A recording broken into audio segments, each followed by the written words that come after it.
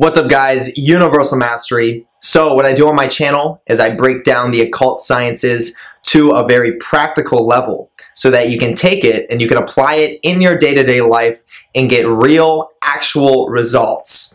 So what we're going to be talking about in today's video is a talk with Moloch.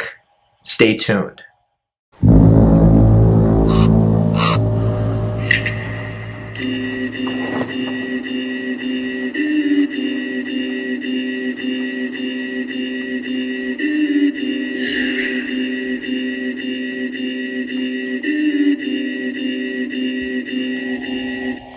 Okay, so the first thing that I want to say is go and check out my Patreon. On my Patreon, I have an exclusive video that is uploading weekly that will not be on my YouTube channel.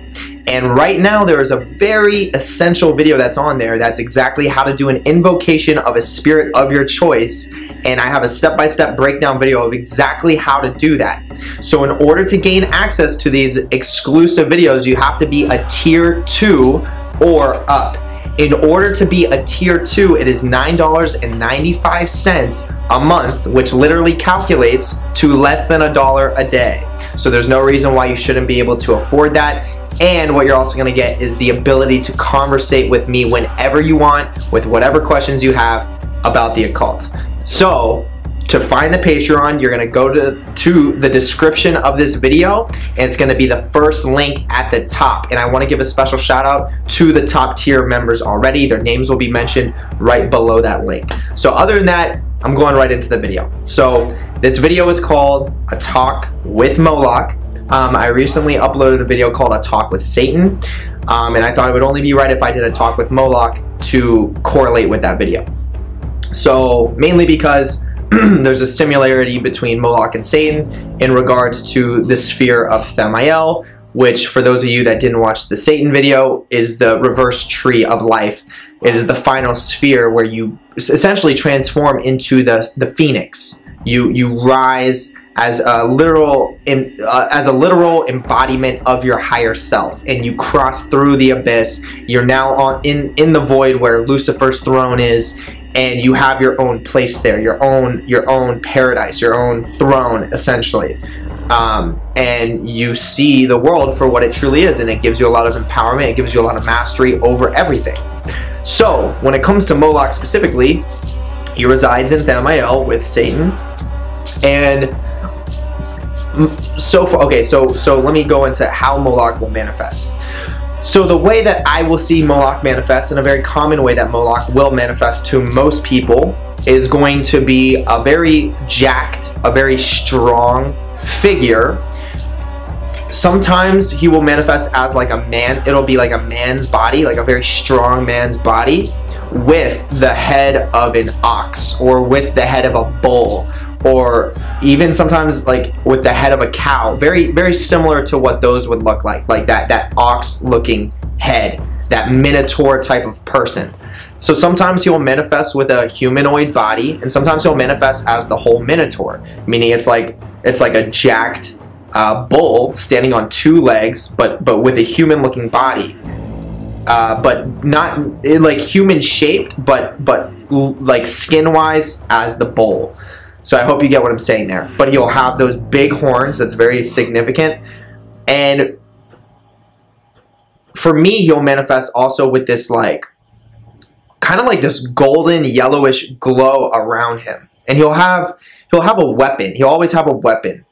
Um, right now that I'm thinking about it, yeah, it's like for me, it's it's kind of like um, like an axe, like a big axe.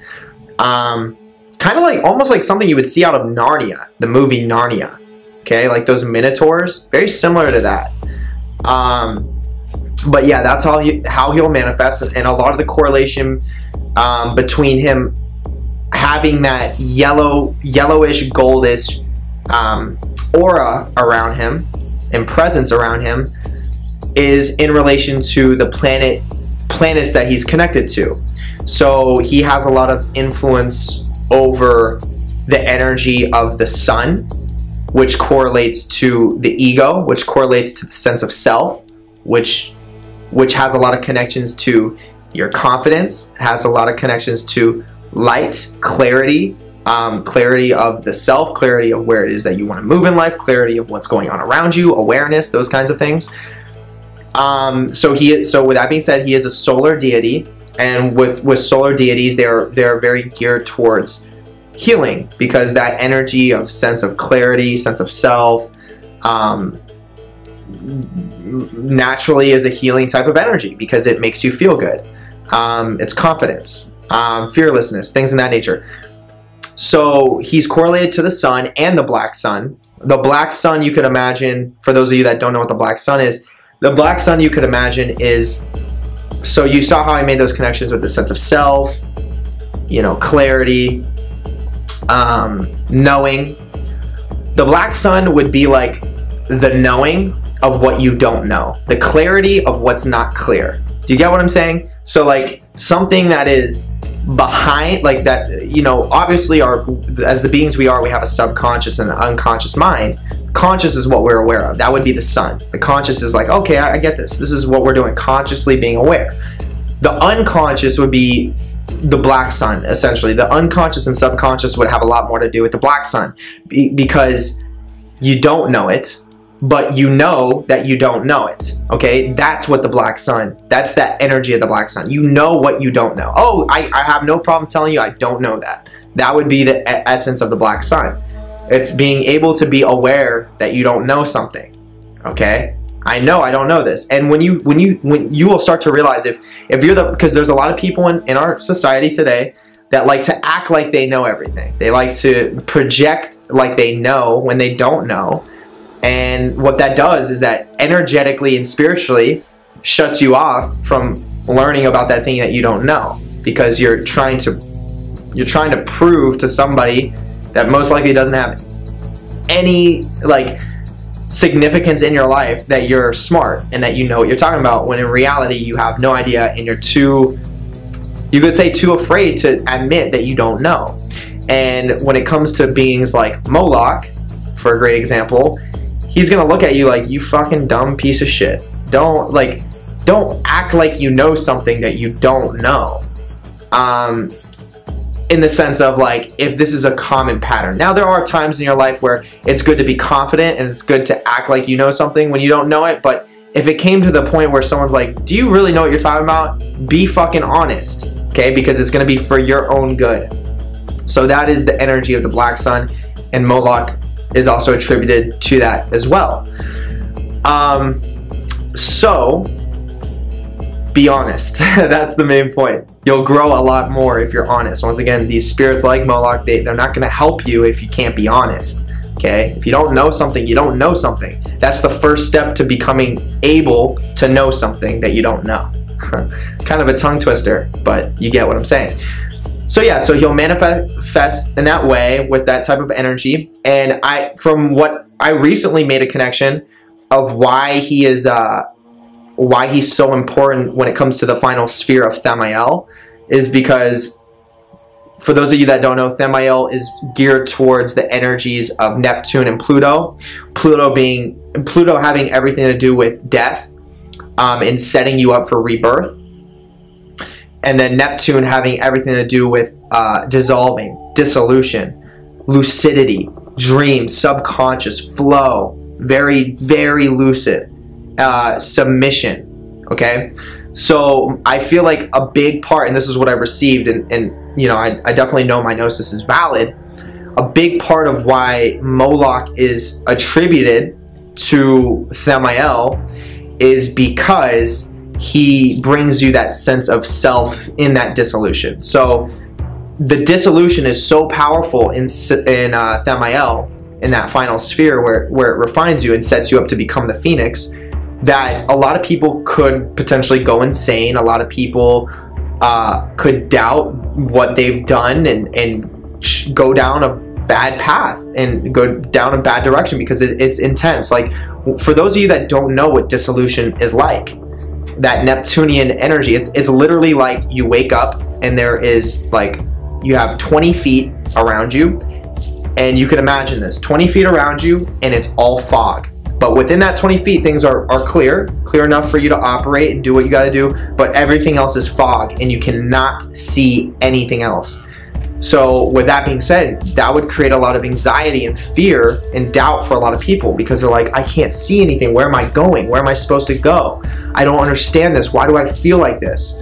Um, so, Moloch, being attributed to the sun and the black sun, produces an essence of, once again, coming from the black sun, oh, I get what's going on here. I get this is teaching me and refining me this is something that I don't know, but it's okay that I don't know. As long as I know that I don't know, it's okay. And then with the essence that he brings to the table of the sun, then it's like, okay, I have confidence I have the clear knowing that this is transforming me. This is making me more powerful. This is this is gearing me and and and, and moving me in the direction that I need to move. I just need to be patient and work through it and be as healthy as I can while I work through it. I have confidence that I will come out of this eventually.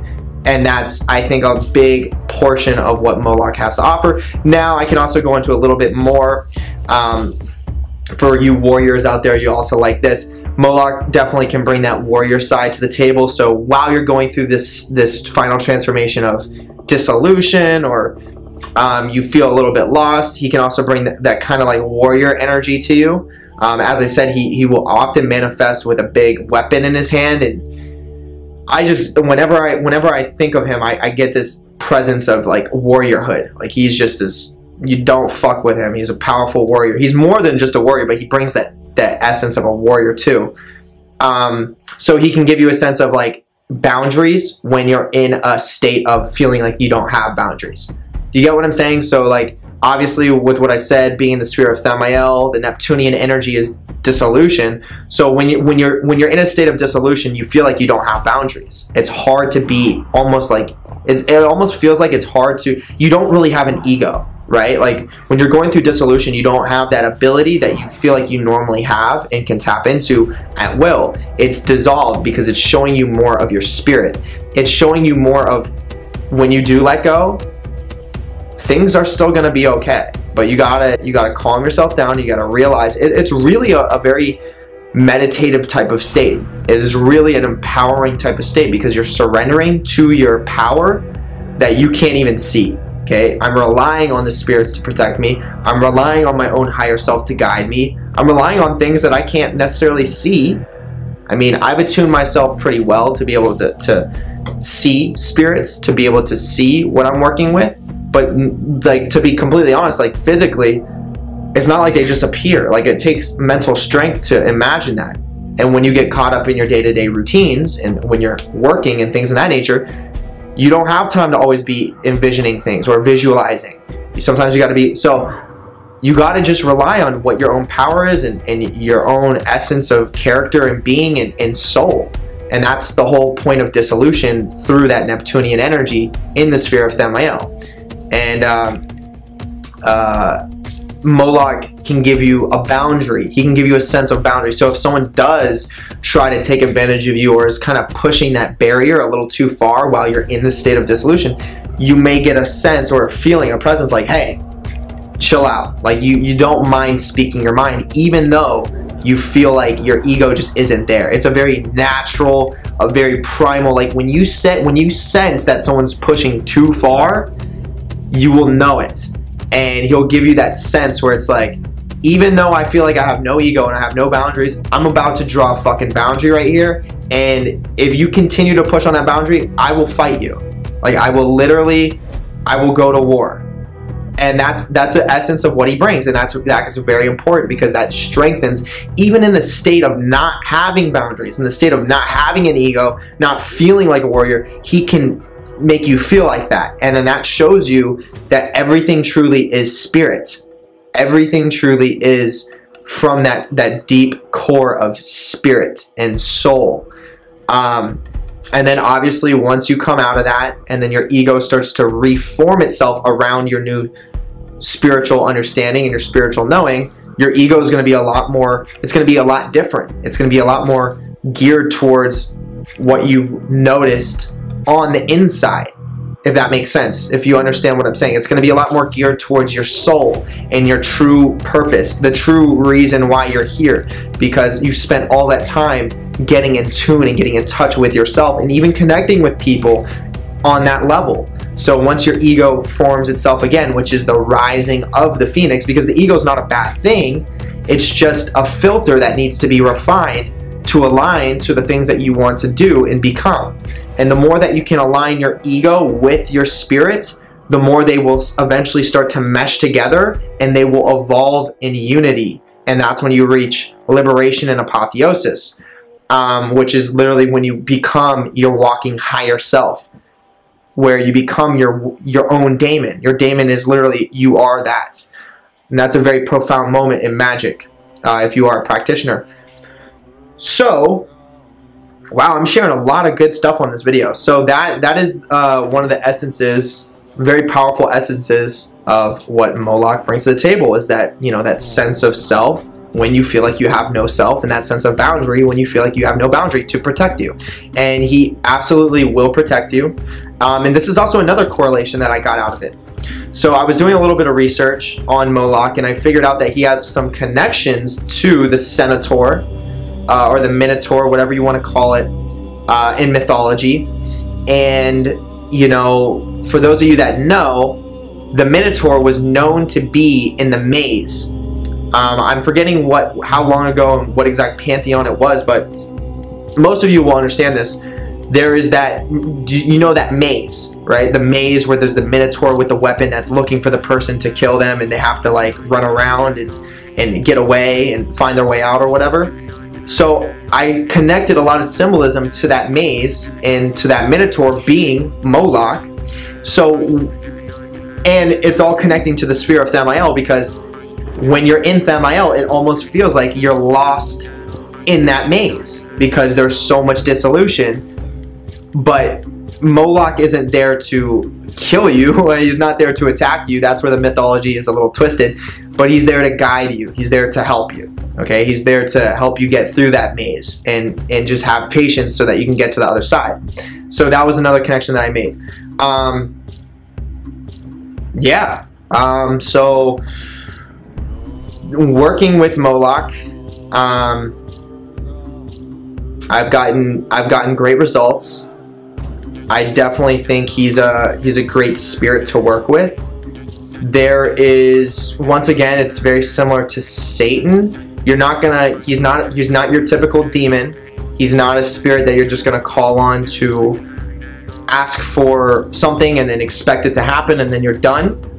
He's a higher, he's a, you could say he's a higher spirit, meaning he's he's a, he's a, he's a, he's a much more powerful spirit. When it comes to the hierarchies, he's much higher up, and he respects those that improve themselves. He expects though he he respects those, works with those, protects those, empowers those that empower themselves, that work on self-development, that choose to move in a direction that's going to be best for their own life and then real I mean once again these higher spirits they really protect those they really watch over those they really empower those that have that that realize that their purpose is connected to helping humanity evolve at the same time. So Moloch will also really protect you, really empower you, really guide you down a path where yes he's going to empower yourself he's going to make sure that you know how to reach your highest level of self-development but then leads you down a path where you can potentially teach others how to do the same thing and especially if you're going to be doing it through uh, the, the the the path of magic and black magic. So for example, later down the road, you guys will see I'm going to start teaching people how to initiate through the tree of life, through the tree of death, the Sephiroth, the Qliphoth. I'm going to be guiding people on how to do that. Not now because I'm still going through it myself, but once I come out of this, then I will be teaching people how to do that. And that's going to, that's to be, that's, I mean, that's like plugging, plugging the uh, cord right into the socket. That's where evolution is. That's where alchemical transformation truly is. Um, so the spirits that the, the the infernal divine, the most primordial spirits, they really want people to take that that path of initiation. They really want people to develop on that level because that is what development is. It comes from the tree. That's we have all the spheres in us. We have all the planetary energies in us. We just need to access them. We need to reconnect with them. We need to communicate with the spirits that that reside with those energies and can and can guide us through those energies and can even bestow those energies onto us to help us move in, in, in the direction that we need to move. Okay? So you know, with that being said, it's you know that's that's what's going to get you the most benefit out of anything you do in life is when you do something that revolves around that that sort of uh, empowerment, that sort of self development, especially as I'm saying, connecting right into the tree where you're going to get the rawest, most core foundation of that spiritual development. Um, so yeah, so take that for what it's worth. Other than that, oh, and then I also want to mention there's also another way that Moloch can manifest, and that's going to be as the owl. Okay, the owl. Um, so you may notice that on our dollar bill there is a small owl. If you don't know, you can look it up on Google or you can look it up on YouTube. There is a small owl that is on the dollar bill. It's kind of like hidden, uh, and I believe it's next to the eye. Um, so Moloch does have a massive influence, as a lot of these, I mean, most of these infernal, infernal spirits do, but Moloch definitely has a very known, profound influence over our society and over our government as well. Um, when you, when you, when you, I mean, when you see that owl, that is a symbolized uh, way that he's coming through.